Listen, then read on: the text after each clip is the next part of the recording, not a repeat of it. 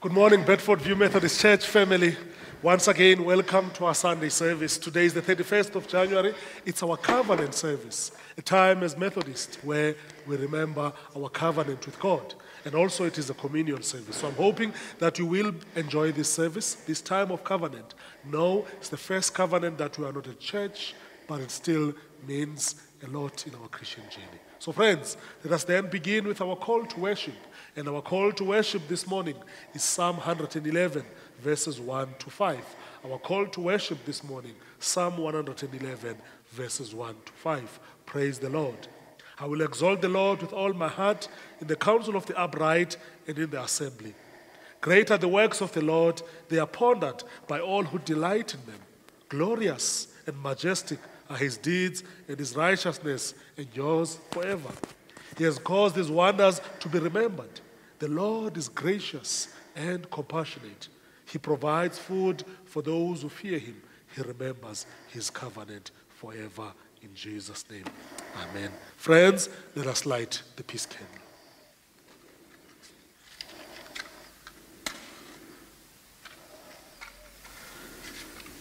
We light this candle this morning to remember that your Lord, you are the light of the world and you are the light in our own lives.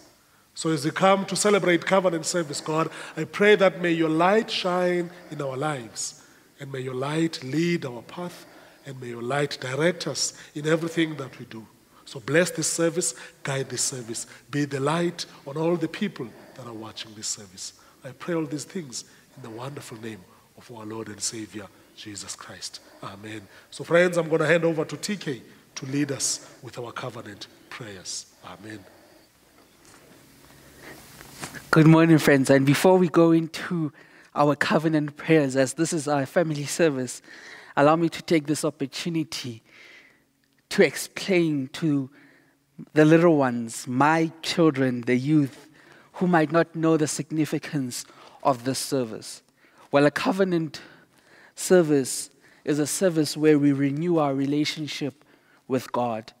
And so this morning, we celebrate coming together as a family, as, as, a, as a Christian community, to come and give our lives to God and recommit ourselves to being a nation of God. And so that's why it is so significant that we have this service.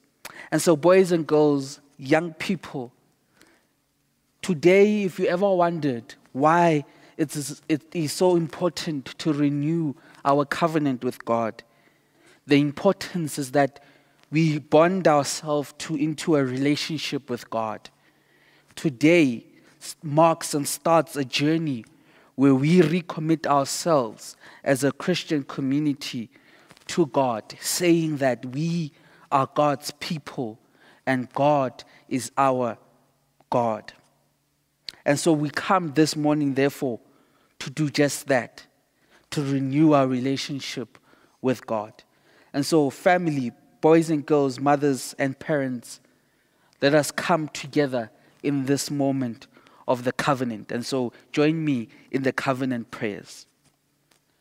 God made a covenant with the people of Israel calling them to be a holy nation, chosen to bear witness to his steadfast love by finding delight in the law. The covenant was renewed in Jesus Christ our Lord, in his life, work, death, and resurrection. In all him, all people may be set free from sin and its power, and united in love and obedience. In this covenant, God promises us new life in Christ for our part, we promise to live no longer for ourselves, but for God. We meet, therefore, as generations have met before us, to renew the covenant which bonds them and binds us to God. Let us then seek forgiveness for the sin by which we have denied God's claim upon us. Let us pray. God of mercy, hear us as we confess our sins for the sins that has made us slow to learn from Christ, reluctant to follow him, and afraid to bear the cross. Lord, have mercy. Lord, forgive. For the sin that has caused the poverty of our worship, the formality and the selfishness of our prayers, our neglect of fellowship and the means of grace, and our hesitating witness for Christ. Lord, have mercy. Lord, forgive. For the sin that has led us to misuse your gifts, invade our responsibilities, and fail to be good stewards of your creation, Lord, have mercy. Lord, forgive. For the sin that has made us unwilling to overcome evil with good, tolerant of injustice, quick to condemn, and selfish in sharing your love with others. Lord, have mercy. Lord, forgive. And so, brothers and sisters, friends, we come into a moment of solitude prayer, a moment of silence as we reflect on the sins that we have done intentionally and unintentionally. And so let's take this moment in silence as we reflect on that.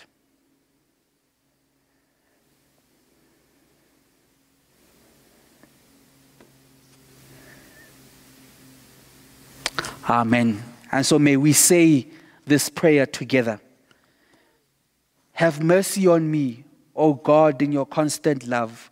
In the fullness of your mercy, blot out my offense. Wash away all my guilt and cleanse me from my sin.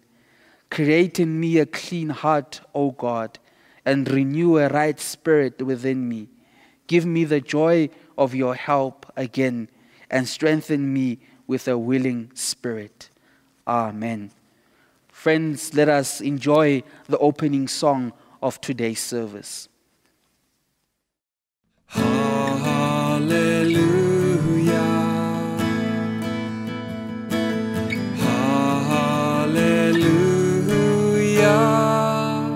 For the Lord God Almighty reigns.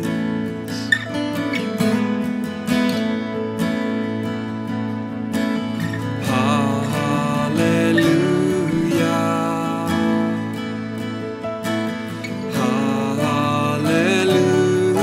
Hallelujah. For the Lord God Almighty reigns.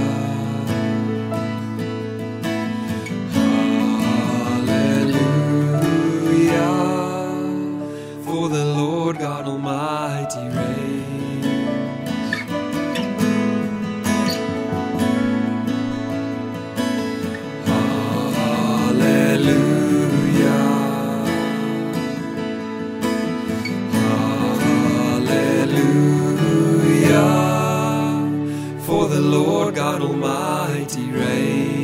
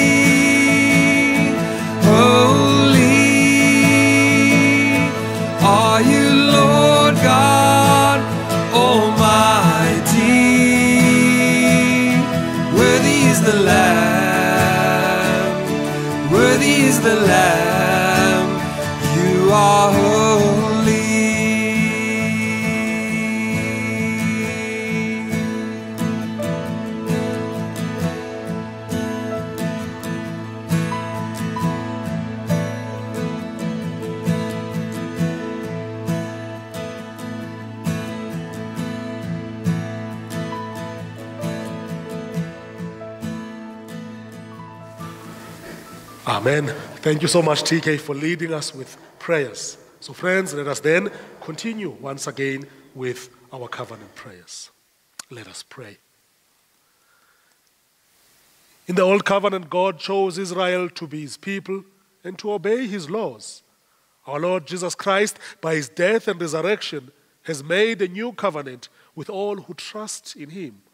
We stand within this covenant as we bear his name. On the one side, God promises in this covenant to give us new life in Christ. On the other side, we are pledged to live no more for ourselves, but for Him. Today, therefore, we meet expressly, expressly as generations of our fathers have met to renew the covenant which bound them and binds us together. Please stand at home as I pray this prayer. Beloved in Christ, let us again claim for ourselves this covenant which God has made with his people and take the yoke, yoke of Christ upon us. To take his yoke upon us means that we are content and that he appoints, appoints us our places and work and that he himself be our reward. Christ has many services to be done. Some are easy, others are difficult. Some bring honor, others bring reproach. Some are suitable for natural inclinations and material interest, others are contrary to both. In some, we may please Christ and please ourselves. In others, we cannot please Christ except by denying ourselves. Yet, the power to do all these things is given us in Christ, who strengthens us. Therefore, let us make this covenant of God our own. Let us give ourselves anew to Him, trusting in His promises and relying on His grace. Amen. Please, friends, continue to stand as you pray this prayer with me, as it is written on the screen. Lord God, Holy Father, since you have called us through Christ to share in this gracious covenant, we take upon ourselves with joy the yoke of obedience and for love of you. Engage ourselves to seek and do your perfect will. We no longer our own, but yours. Amen. Please be seated, friends. As we come to this time, we'll read our scripture reading for this morning, which is Mark chapter 1, verses 21 to 28. Our reading for this morning, Mark chapter 1, verses 21 to 8. Jesus drives out an impure spirit. They went to Capernaum, and when the Sabbath came, Jesus went into the synagogue and began to teach. The people were amazed at his teaching because he taught them as one who had authority, not as the teacher of the law. Just then, a man in their synagogue who was possessed by an impure spirit cried out, What do you want with us, Jesus of Nazareth? Have you come to destroy us? I know who you are, the Holy One of God. Be quiet, Jesus said steadily. Come out of him.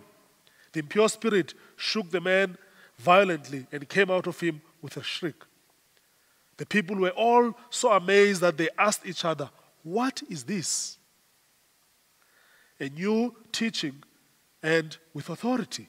He even gives orders to impure spirits and they obey him. News about him spread quickly over the whole region of Galilee. Friends, this is the word of God, and thanks be to God. Amen. Let us pray. Father, I pray that this covenant service, you open our hearts and our minds as we listen to your word. In Jesus' name. Amen So, friends, we find ourselves today coming to a very special moment in our Methodist history, our Christian journey, our Methodist ethos. And that is making a covenant with God. Remembering that we belong to God. Remembering that we need to obey the will of God.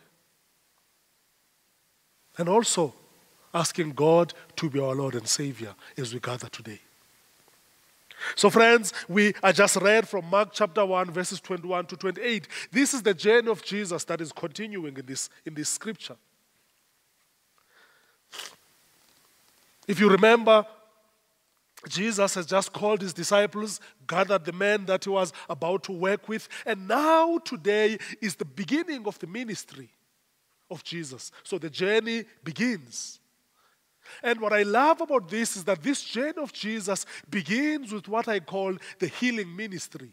Isn't that wonderful? That when Jesus starts his journey, the first thing that he does is the healing ministry. Yes, he went to the synagogue, as we are told. He started teaching. Started teaching in the synagogue. But in the midst of that teaching, we see then a first miracle taking place, which is the healing of the man with the impure spirit. And Luke, in, in Luke chapter 4, takes it further. He says, This man not only had impure spirit, but he was also demon possessed. So you can read that parallel, this scripture, and also Matthew chapter 4 from 31 to 37, where Matthew, eh, sorry, sorry, not Matthew, Luke. So Luke Luke chapter 4. So, this reading in Mark chapter 1, verses 21 to 28, is the same as the reading in Luke chapter 4, verses 31 to 37. And then Luke adds that he not only had impure spirits, but he was also demon possessed. Hence, then, my theme for this morning is Jesus Christ, a healer with authority. Because now is the beginning of the healing ministry. And if you read, as you go down this chapter, you will see other healings taking place or other miracles taking place. So now he begins his healing ministry. And Mark in verse 22 tells us he does not only heals, he heals with authority. He does not only teach, he teaches with authority. Hence, I've chose to have the theme I've just read to you Jesus Christ a healer with authority. What is authority? Why do I seem to emphasize this fact of authority to add on this healing ministry? So, in essence, then, friends, authority is the right someone has, or is the right that an institution holds to enforce or to expect obedience from others. So, authority is the right that Jesus has to expect and to enforce obedience from us. So, therefore, when he teaches with authority, when he heals with authority, in other words, he's enforcing obedience from us, his followers. For us to remember that Jesus has authority above everything that is alive, above everything that is on this earth and also in heaven. So, what is it then that we can learn from this story? As a good Methodist preacher, especially on a covenant service, allow me to suggest three points that we can learn from this story. One is that I've mentioned Jesus teaches with authority. So, the first thing that we are introduced to in this scripture is the teaching of Jesus, and not only the teaching, but the teaching that he does with authority. Listen to what Mark says, verse 21 to 22. So, as they went to Capernaum, and, and when, when the Sabbath came, so it was a Sabbath day, Jesus went to the synagogue and began to teach.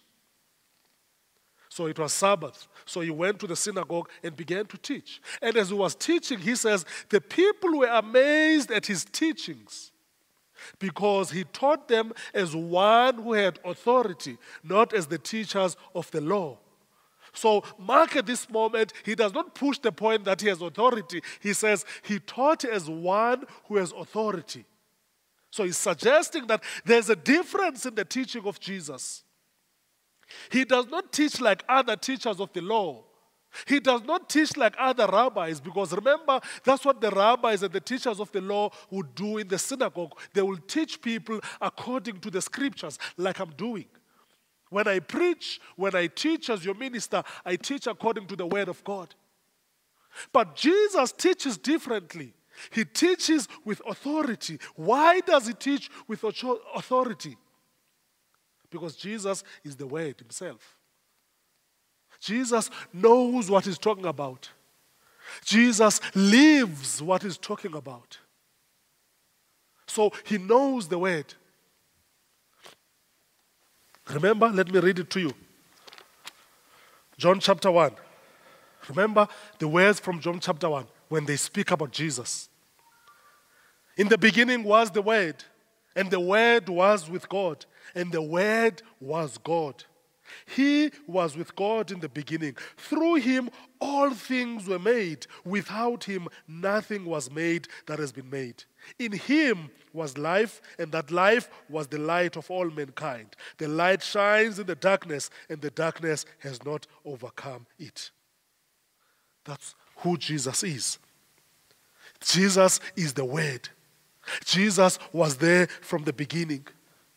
Everything was created through him. That's why he's got this authority. That's why he teaches with authority. Therefore, in other words, Jesus is the Lord. So when you read the Word of God, remember that. You're reading the life of Christ. You get to understand who Jesus is. You get to live and understand his teachings. That's why he's got authority.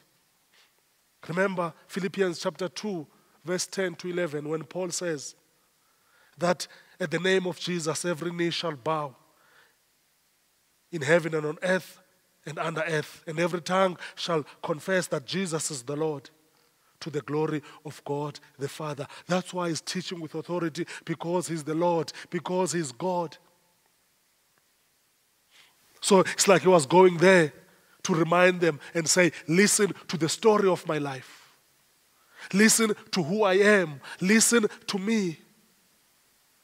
He didn't even have to open the scriptures, the scrolls, the book of the law. He didn't even have to do that because he knew it by heart. Because the word is him. That's why he teaches with authority. And secondly, friends, we can learn from here that Jesus has authority over Satan and the uncleanness of this world or the darkness of this world. Or maybe, let me put it like this Jesus has authority over Satan and the darkness of this world. So, as he was teaching, then, then Mark says in verse 23 to 24, just then a man in their synagogue who was possessed by the impure spirit cried out. And Luke goes to further say, not only impure spirit, by demon as well. Cried out, What do you want with us, Jesus of Nazareth? Have you come to destroy us? I know who you are. You are the Holy One of God.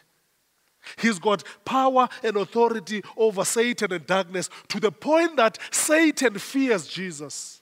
Satan is scared of Jesus. Darkness fears Jesus. Darkness is scared of Jesus. Demons fear Jesus. Demons are scared of Jesus. The devil fears Jesus. The devil is scared of Jesus. Excuse me. That's what we learn here. That the devil has no power. He goes further. Jesus goes further to show that I don't respect you, Satan. I don't respect you, darkness. I don't respect you, evil. Friends, we must never respect darkness. We must never respect evil. We must never respect Satan. We must always rebuke Satan. As those who believe as Christian on this covenant service, I want to remind you that our purpose and our job and our calling is to rebuke the impure spirit, is to rebuke the devil, is to rebuke Satan, not to be friends with the devil. You see, the world is in this mess today because we are in the same bed with, the with Satan. The world is in this mess today because we smile with the devil. But, but our job and our calling is to rebuke those spirits. Whenever we see injustice, we must rebuke injustice. Whenever we see abuse, we must rebuke abuse. Whenever we see wrongdoings, we must speak against wrongdoings. Whenever we see violence and crime, speak against violence and crime. That's what it means to rebuke darkness. When we have corrupt leaders, we must speak against corruption. That's what it means to rebuke darkness. Friends, I remember times where the Methodist Church would stand for injustice and speak against injustice, speak against evil doings, speak against the government. Do we do have those leaders now in our church? I don't know. You answer that question. So we must remember that, Jesus had authority over Satan and the darkness of this world. He says to Satan, he says to the demon, he says to the impure spirit, I like how Jesus responds and, and, and addresses the evil. He says, Be quiet. Be quiet because you have no power over me. I'm going to tell you what to do. You're not going to tell me what to do. Be quiet. Now that you know who I am, because, friends, again, the scripture reminds us that even demons, even Satan, even evil spirit, they know who Jesus is. That's why they fear him. They say he's the Holy One of God, they say he's Jesus of Nazareth. So, so, so before we claim and proclaim that we know Jesus, always remember this, even the evil spirit know who Jesus is. It's more, not more about knowing who he is. Our religion is not here, it's here. It's about believing in him. The devil know who Jesus is, but the devil does not believe in him as the Lord and Savior. So therefore, we must not end in knowledge like the devil. Because knowledge won't send us to heaven. Knowledge won't save our lives. Knowledge won't save our souls. But believing in Him will save our lives. Believing in Him will save our souls. Believing in Him will take us to eternal life. Always remember that, friends. He says, Be quiet. And, and the Bible says He said it sternly, He said it with authority. He said it with force. He said it with conviction. Oh Lord, I love this. He says, Be quiet. Come out of him. Jesus does not beg the devil. Jesus does not beg the impure spirit. Jesus does not beg the demon. Jesus does not beg uh, Satan. He says, Come out of him. Now, come out of him. And the Bible says, the impure spirit shook the man violently. So, so the devil didn't just want to give up easily. I guess that's what this is telling us. He didn't want to give up easily, but he knew that he's going to give up anyway. Because he shook the man, as the Bible says. And then the impure spirit came out. Because why? Why did the impure spirit come out? Because of the conviction that Jesus had, because of the authority that Jesus had, because he stood there. I just have this picture in my mind in the synagogue. Jesus standing in front as I stand here this morning. Jesus standing in front in the synagogue, and the man standing right in front of him in the synagogue, and Jesus looking at him face to face, facing the devil face to face. The man himself had done nothing wrong. He was unfortunate that he was full of the impure spirit because we don't find anything in the scripture that said it was his fault. No. The problem was the impure spirit in him. So Jesus looking at him straight in the eyes and whilst, the, the, because remember, the Bible says it is not this man who acknowledges, but the impure spirit that acknowledges who Jesus is. So the impure spirit of the demon says, I know who you are. Why are you here? Are you here to destroy us? You are Jesus of Nazareth, the Son of God. Jesus says, You be quiet, you shut up. I tell you now, you shut up and listen to me. Because, friends, that's how we deal with the evil spirit. That's how we deal with injustice. We do not smile. We do not mince our words. We say, You shut up out. You shut up right now. Listen to me. You come out of this man right now, right away. And the evil spirit left the man.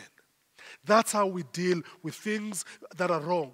We face them straight and we say it like it is. Yes, I know when you are honest and straightforward, sometimes you, you gain enemies. But better you gain enemies on this earth and gain, rather you sorry, rather you lose friends because of your truth and gain Christ because of your truth. Remember those words. And the evil spirit came out. Lastly, friends, one thing we can learn from this is our response then to, to this. What is our response to this authority, which is my last point? Our response is to spread this good news I've spoken about. Our response is to spread. This is how Mark closes this chapter. He says, after all had happened, news about Jesus spread quickly over the whole region of Galilee. News about Jesus, news about what he had done, news about what had happened spread quickly throughout Judea. That is our response, then, friends. Our response to this authority, our response to this teaching, our response to this healing is to spread the good news quickly to our community. We go out there and share with people. We go out there and evangelize. We go out there and tell people who Jesus is. We go out there and remind our people of what Jesus is capable of doing. Now, it is up to you and me then to tell people about this good news. It is up to you and me then to spread the word because people need to hear this news. People need to hear the word. People need to understand the word. People need to be saved in Jesus' name. Amen. Father, I give you thanks and praise for your word. I pray, Father, that your word will convict us, your word will change us. At this covenant service, God, that will learn more about you. As we come to this time of communion, prepare our hearts and our minds. In Jesus' name, Amen. Friends, we come to this time of communion. And I want to encourage you, as you know the custom, you cover the elements with a white cloth. So please remove the white cloth as we begin with our communion.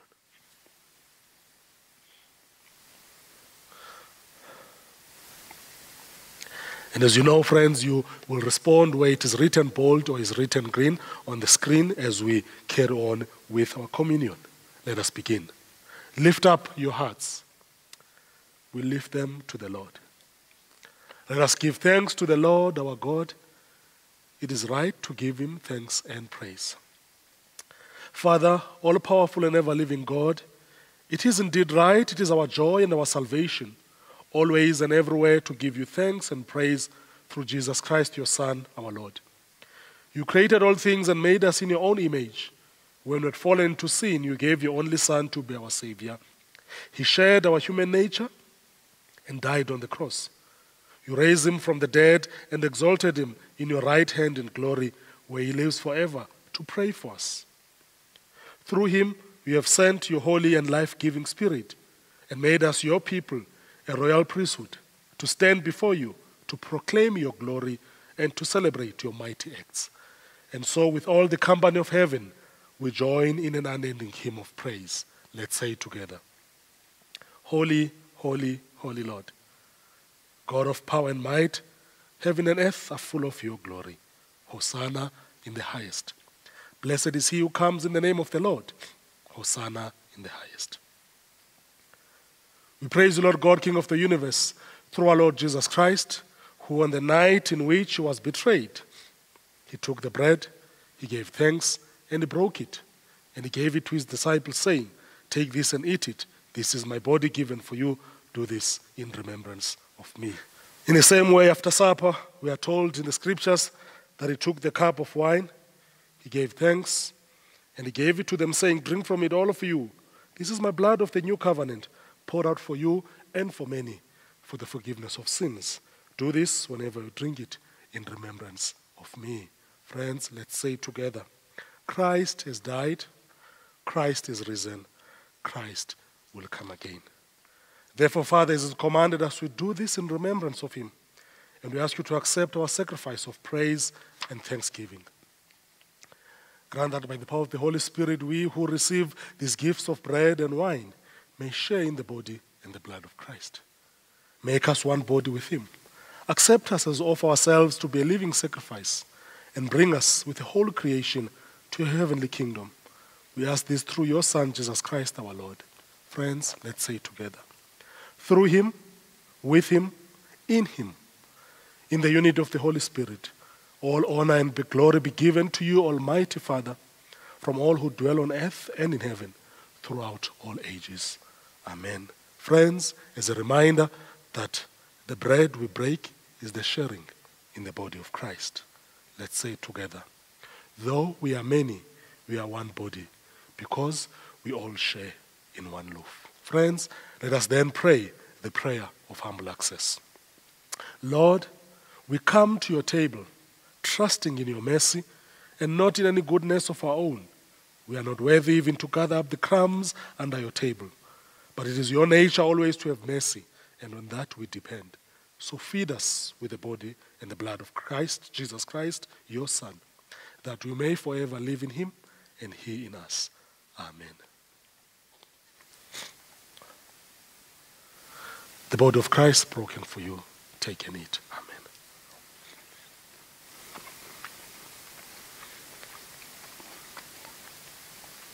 The blood of Christ shed for you. Take and drink. Amen. Amen.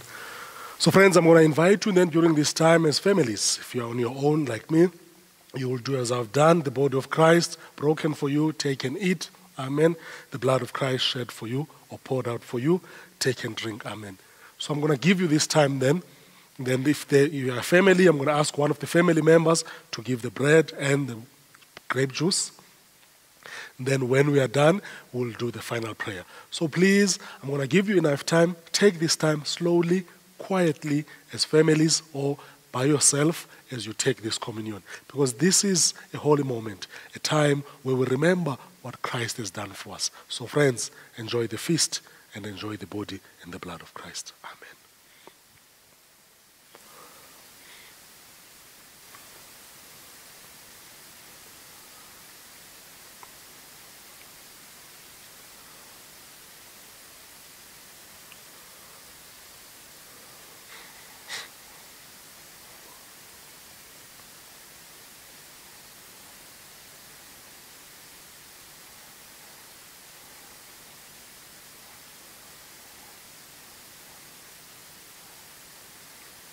Amen.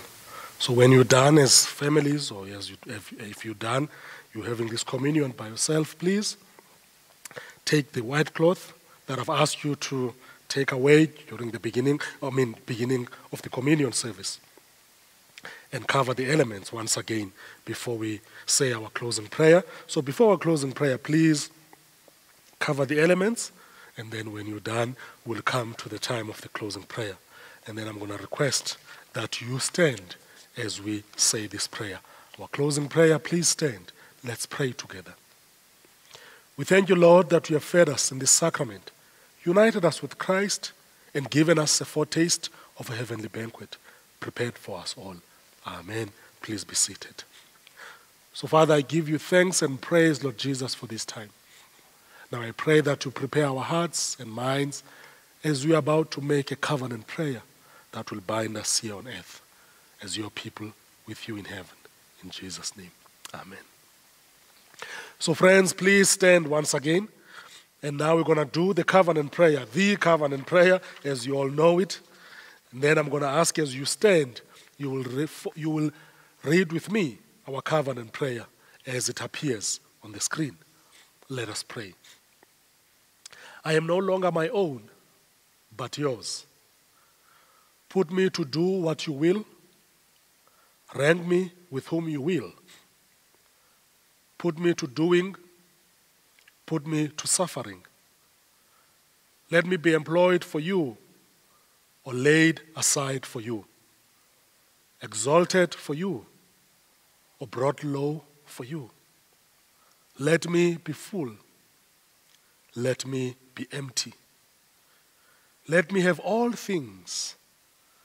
Let me have nothing. I freely and wholeheartedly yield all things to your pleasure and disposal. And now, glorious and blessed God, Father, Son, and Holy Spirit. You are mine, I am yours. So be it. And the covenant now made on earth, let it be ratified in heaven. Amen. So, friends, it is my hope and prayer that you understand what you've just prayed. This is our covenant for 2021. 2020, 2021 have not been easy years because of COVID 19. But now we've prayed this prayer and made this covenant with God. Let us then be obedient to the will of God as we move forward. In Jesus' name. Amen. Friends, please enjoy the closing song, Amazing Grace. Amen.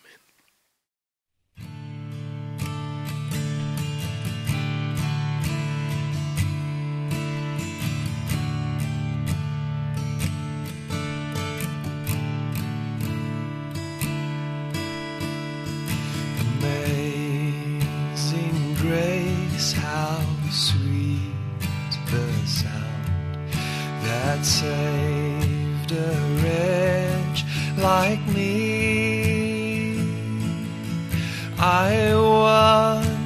was lost, but now I'm found. Was blind, but now I see. It was grace that taught my heart to fear, and grace my fears relieved. How precious did that grace appear the hour I first believed. My chains are gone, I've been set free. My God, my Savior,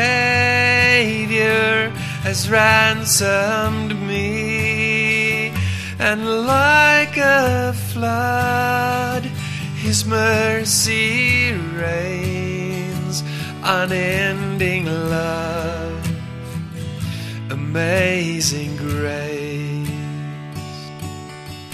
The Lord has promised good to me. His word, my hope secures. He will my shield and portion be as long as life endures. My chains are gone, I've been set free. My God, my Savior, has ransomed me, like a flood, His mercy rains, unending love, amazing grace. My chains are gone, I've been set free. My God, my Savior, has ransomed me, and like a flood, His mercy rains, unending love, amazing grace. The earth shall soon dissolve like snow, and the sun forbear to shine. But God, who calls me here below, will be forever mine. Will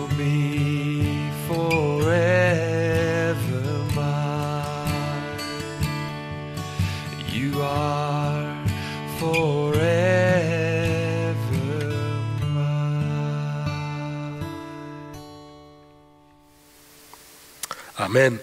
So, friends, I want to give thanks to you for uh, watching this covenant service and communion service. I hope you've enjoyed the service. My apologies, friends. I'm sure you've heard throughout the service. I'm currently struggling with flu, but I want to promise you it's not COVID 19. I went for testing on Monday before the birth of the child because we were told at Linksfield Hospital that Nandi can't deliver the baby until we are both tested, and we both tested negative. So at least I know that is uh, out of the picture, but I've been struggling with flu since then. So I just want to apologize uh, for that during the service. I'm sure you've heard that I was struggling here and there. But I hope, in spite of that, you've enjoyed the service. And also, you're going to tune in next week and watch us as we continue with our online services until we hear from the President on the way forward. We will respect the laws of the country and will continue to do the online services. And secondly, to give thanks to those who've uh, responded to the call for the food pantry and did bring some food and deposit some money. And I just, just want to continue to ask you to do so in helping us uh, in terms of the food pantry, clothing pantry, as there are people who are in need out there. And also a reminder that Soup Kitchen will start again Thursday next week. So if you know any people that want to volunteer on Soup Kitchen, they can be part of that ministry. It will start next Thursday from 10. You can come and help with cooking and preparing the food, and then at 11 we dish out the food for one hour, and then people go home. There won't be any contact. People stand outside. We stand by the gate, and then we just hand the food to them to avoid and also to stick with the regulations. So remember that as well, and also check our bulletin for our financial uh, report. Things are not easy for anyone, so things are a bit tight financially. So I want to encourage people, you know, that to continue to give generously to our church as things have been tight. I'm sure on the 3rd of February, when we have our annual society meeting, you will see with the budget and the expenses how tight things are moving forward. And I know it's not easy for everyone because of this COVID 19. People have lost jobs and their income. So we keep praying for our people that God will continue to provide. So, friends, may God bless you. May God be with you. Please stand as we pronounce the benediction. Please raise your hands. Let's say together. And now, may the grace of our Lord Jesus Christ, the love of God, and the fellowship of the Holy Spirit be with us all, now and forevermore. Amen. May God bless you. Have a blessed week. In Jesus' name. Amen.